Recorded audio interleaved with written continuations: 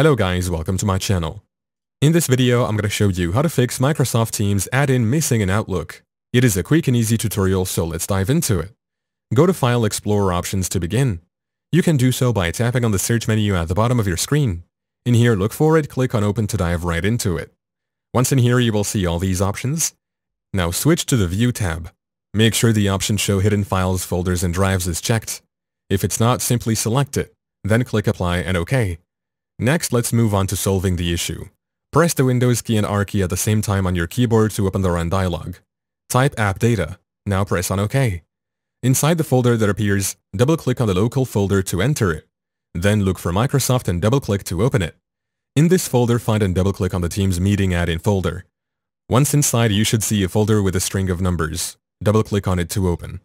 Now inside this folder, locate the file named Microsoft Teams add-in loader.dll. Once you've found it, Copy the entire path from the address bar at the top of the window. After that, search for command prompt in the search bar. Now, go ahead and select Run as Administrator. When prompted, click Yes. Now, in the command prompt, type cd followed by the path you copied earlier. Now press Enter, you should now be inside the folder where the file is located. Finally, run this command. regsvr32 space Microsoft space Teams space add-in space loader.dll. Now press on enter again.